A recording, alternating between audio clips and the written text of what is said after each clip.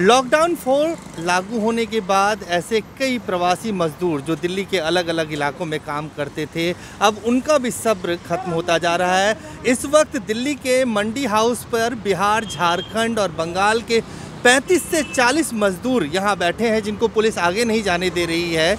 ये सब मजदूर वो हैं जो दिल्ली के अकबर रोड पर जो वाणिज्य भवन बन रहा है, उसमें काम करते थे और लगातार लॉकडाउन थ्री तक ये लोग वहीं पे रहे और इनका ये कहना है कि इन्होंने पंद्रह दिन पहले दिल्ली की पुलिस आई थी वहाँ पे और इन लोगों को ये कहा था कि आप सब लोग रजिस्ट्रेशन करा लीजिए और धीरे धीरे आप लोगों को आपके घर की तरफ़ भेज दिया जाएगा। लेकिन लॉकडाउन फोर लागू होने के बावजूद इन लोगों को कोई, इन लोगों की सुध लेने के लिए वहाँ नहीं आया और उसके बाद इन लोगों के सब्र का बाँध टूट गया। जहाँ ये लोग रह रहे थे अकबर रोड पे, वाणिज्य भवन में। इन लोगों को संडे के बाद ये भी कह दिया गया कि अब आप अपने खाने पीने का इंतज़ाम भी खुद ही कीजिए। और उसके बाद ये सब लोग जो दिहाड़ी मजदूर हैं, वाणिज्य भवन बन रहा है वहाँ पे, दिल्ली के अकबर रोड पे, और वहाँ काम कर रहे थे।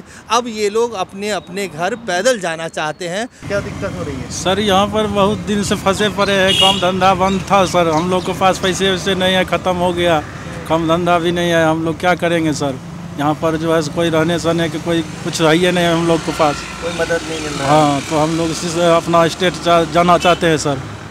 बिहार हमारा स्टेट है हम अपना चल जाएँगे किसी तरह।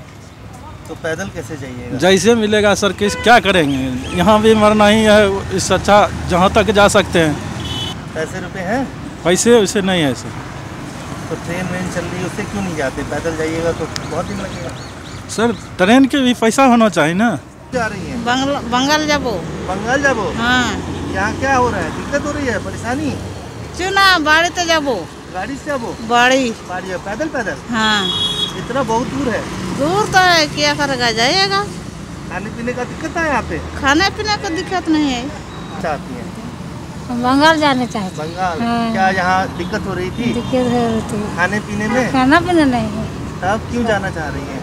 हम जा, जाने रहे यहाँ नहीं रहना चाहती हैं। हैं। तो पैदल कैसे इतना दूर जाएँगे? पैदल पैदल तो जाना है। पैदल ही जाना है?